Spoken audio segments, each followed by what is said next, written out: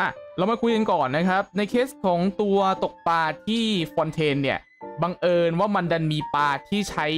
เหยื่อของ Sumeru นะ วิธีการหาเนี่ยเพื่อนๆลง warp นี้ ลง warp นี้นะครับ อยู่แถวๆท่าเรือ Ormos ซึ่งเหยื่ออันนี้เนี่ยจริง ๆ มันเป็นของ Sumeru นั่นแหละ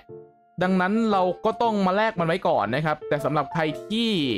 แลกมาอยู่แล้วเนาะตกปลามานานแล้วก็น่าจะมีกันนะ นี้เราลงวาร์ปนี้เสร็จเพื่อนๆตรงมาเลยนะครับ เนี่ยอย่างเงี้ยปุ๊บเห็นไหมบินตรงมาเลย นี่เราทริคไว้นิดหน่อย แล้วก็วิ่งมาทางนี้ ก็เหมือนทุกเมืองนะครับ มี NPC ตกปลาหนึ่งคนใช่ไหมเราก็จากการมาคุยกับเขาให้เรียบร้อย แต่ก็เตรียมปลาไปด้วยนะ ไอปลาทองอะครับ เนี่ยเหยื่อของซูเมรุมันจะเป็นสีนี้ สีม่วงๆอยู่นี่เนี่ยครับ เป็นตัวนี้ เป็นซูก้าดิวเบตใช้ตรงส่วนของเบดากะนะฮะ หรือที่ผมเรียกว่าปลาทองปลาทองนั่นแหละ ส่วนของข้างฟอนเทนเนี่ย เพื่อนๆจะต้องวิ่งมาที่นี่ ตัว NPC อะครับ เขาจะอยู่ตรงนี้นี่นะ ก็ถ้าเอาวาร์ปใกล้สุดเนี่ย ส่วนตัวผมจะใช้เป็นอันนี้แล้วว่ายน้ำขึ้นมาเอา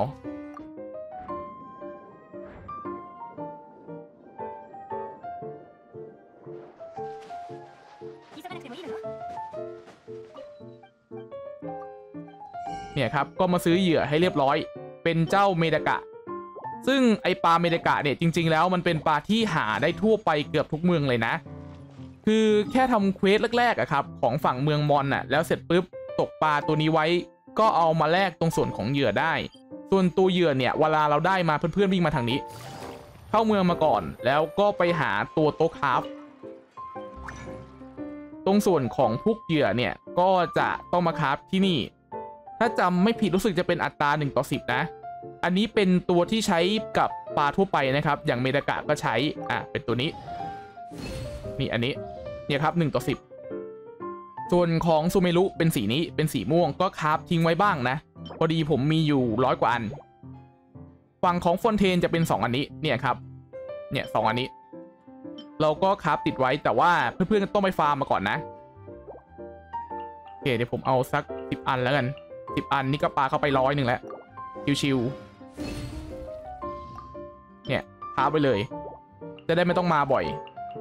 นี่ก็เป็นของเฉพาะฟอนเทนนะครับ ไปฟาร์มให้เรียบร้อยนะ ทีนี้ต่อไปเดี๋ยวเราไปตกจุดแรกก่อน ก็จุดแรกที่ผมจะเล่นเป็นตรงนี้ มันจะอยู่นอกหน่อย เนี่ยครับ อยู่นี่ ตรงจุดเนี้ยยังไม่มีอะไร แต่ว่าแนะนำนะครับให้ทำการตกปลาโดยปรับเวลากลางวันกับกลางคืนนะ คือปลาหลาย ๆ จุดเนี่ย ตอนช่วงกลางวันกับกลางคืนมันจะไม่เหมือนกัน อุ้ยตกไปแล้ว ไม่เป็นไรปล่อยไปก่อนจะได้ไม่มากวนตอนตก อันนี้นะครับ ที่เราก็มาใกล้ๆ ตรงส่วนของปลาเนี่ยตัวอย่างเงี้ย เราใช้เป็นสีประมาณนี้เนี่ยครับสีม่วง ถ้าเป็นตัวอย่างเงี้ย ใช้เป็นอันกลางแบบนี้ แล้วก็ตัวแบบพวกนี้ครับ ที่เป็นปลาจักกลมันจะใช้เป็นเหยื่ออันสุดท้ายอันที่สามแบบนี้ เราก็เริ่มตกนะครับ ใช้อันไหนก็ได้ เพราะว่าพวกนี้ไม่มีผลอะไรกับปลาของฟอนเทนเลยจริง ๆ เบ็ดเนี่ย ประจำเมืองนะครับ มันจะมีให้มาหนึ่งเบ็ดเลยถ้าเอาของแบบตกปลาไปแลกอะนะ ซึ่งจะทำให้ตกปลาในสถานที่นั้นๆเร็วขึ้น แต่พอดีของฟอนเทนยังแลกไม่ได้นะครับเพิ่งมาเริ่มตกก็จะต้องเล่นกันยาวๆหน่อย เคตอนนี้เหยื่อผมเป็นสีม่วงอยู่ก็ตกไปนะ เนี่ยเนี่ยอะไอปลาที่คล้ายกับบอลลูนเนี่ยมาแล้วนี่การตกปลาเนี่ยถ้าเห็นปลา มันกระโดดจากน้ำได้ มันหมายความว่าเพื่อนๆจะสามารถเอาปลาไปเลี้ยงใน Serenitea Pot ได้นะครับ แต่ว่ามันต้องไปพึ่งเฟอร์นิเจอร์ของฝั่งน่าจะเป็น Liyue อะกับ Sumeru คือมันต้องมีเฟอร์สองตัวนี้ก่อน เป็นคล้ายๆตู้ปลากับบ่อปลาครับ ถึงจะเอาไปเลี้ยงได้เรียบร้อยนะครับ ส่วนของกลางวัน ยังไม่หมดนะ ไปต่อที่กลางคืน สลับมาเป็นเวลาช่วงหลัง6โมงเย็นนะครับ พอมืดแล้วปลามันจะเปลี่ยนชุด ก็จะมีเพิ่มมาอีกนิดหน่อย นี่ตัวที่ขึ้นมาเป็นตัวแบบที่ใช้เหยื่อ2กับเหยื่อ3เราก็ปลาเข้าไป เล็งแป๊บนึง ต้องโยนไปข้างหน้าปลาแบบไม่ใกล้มากเกินไปเดี๋ยวมันวิ่ง ดึงมาดึงมา จุดที่หนึ่งก็จะเป็นตรงนี้นี่นะ อยู่นี่เลย เดี๋ยวขยายให้ดูอยู่นี่ ไปต่อที่จุดที่สองนะครับ จุดนี้สำคัญมากนะสำหรับคนที่ต้องการจะแลกอาวุธคราฟเพราะมันจะมีปลาอยู่ชนิดหนึ่งมันมันจะมีปลาอยู่ชนิดหนึ่งที่มีอยู่แค่จุดนี้ตอนกลางคืนจุดเดียว ก็เลยจำเป็นต้องมานะครับ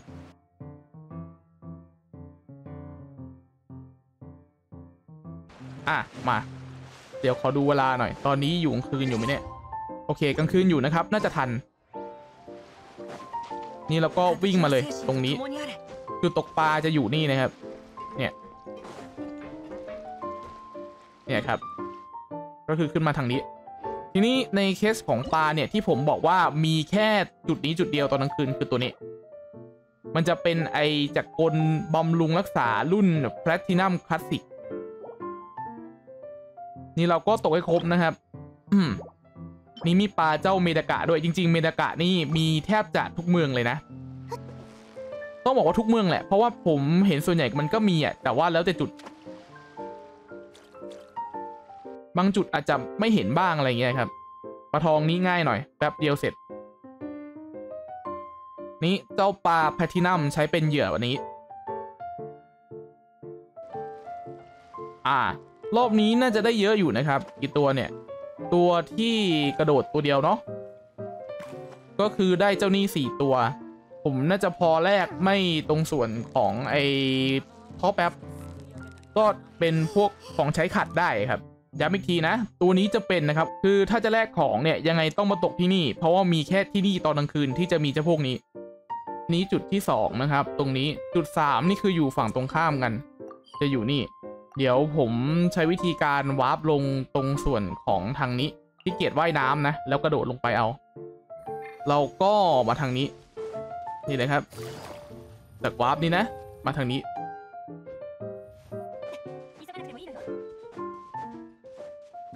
เนี่ยเห็นไหมมันจะอยู่ตรงนี้นะครับ ที่มีน้ำกระเพื่อมกระเพื่อมอยู่ตรงนี้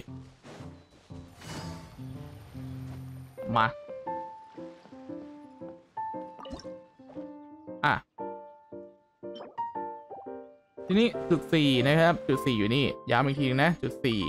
เราก็วิ่งจากวาร์ปนี้พุ่งมาทางนี้ จริงๆ แถวนี้มีมอนอยู่นิดหน่อยนะ แต่ว่าก็ไม่ใช่มอนที่หวดเราบนพื้นอยู่ดี เป็นน้องอุ๋งผมหาบ่อแป๊บนึงอยู่แถวนี้แหละ นี่นี่อยู่นี่ติดติดกันเลย ก็ตามนี้นะครับ แต่ว่าของผมเหมือนน่าจะยังไม่รีแฮะ ไม่เป็นไร นี้เราไปกันต่อนะครับกับจุดต่อไป บ่อที่ห้าเป็นตรงนี้นำทางไว้ก่อน บ่อห้านี่หลายทางมากนะ จะมาจากทางนี้ก็ได้ แล้วก็ล่อนตัวลงมาหรือจะเป็นอันนี้ แต่ส่วนตัวผมจะใช้เป็นอันนี้แล้วกัน เพราะว่าถ้าอันเนี้ยมันต้องมาปีนอะใช้เป็นอันนี้แล้วกันครับ แล้วค่อยว่ายขึ้นไปปีนเหมือนกันแหละแต่ปีนง่ายกว่า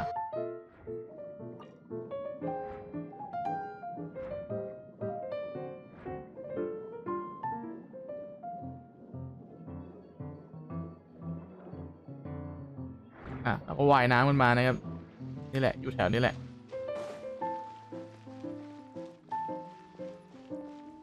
หาก่อน ถ้าจะไม่ผิดอยู่ข้างนี้ โอ้มันยังไม่รีนะครับ แต่ก็เนี่ยปลาเป็นตามนี้เลย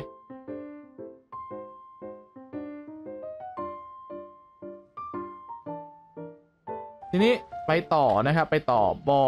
ที่หกบอหกจะอยู่ตรงนี้ เนี่ย เราอยู่ตรงนี้ใช่ไหมวาร์ปเสร็จปุ๊บ ตรงส่วนของบอเนี่ย มันจะอยู่บนเรือ คืออยู่ใกล้ๆเรือแหละ แต่เราต้องขึ้นเรือเพื่อตก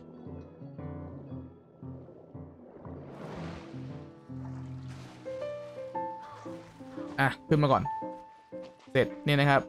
จุดตกปลาจริง ๆ เลย มันจะอยู่แถวๆนี้แหละ เนี่ยนี่อยู่นี่อยู่ข้างนี่แต่ว่ารู้สึกว่าของผมก็ยังไม่รีอะเนาะไม่เป็นไรแต่อย่างน้อยจุดสองรีก็ถือว่าโอเคแล้วปลาก็จะเป็นชุดนี้ อันนี้นะครับหลอดที่หกนี่นะหกอยู่นี่ แล้วก็เจ็ดอยู่นี่เจ็ดนี่จะว่ายน้ำขึ้นไปก็ได้นะครับ แต่ว่าเดี๋ยวผมเอาเป็นบนพื้นแล้วกันอะเราจะมาจากทางนี้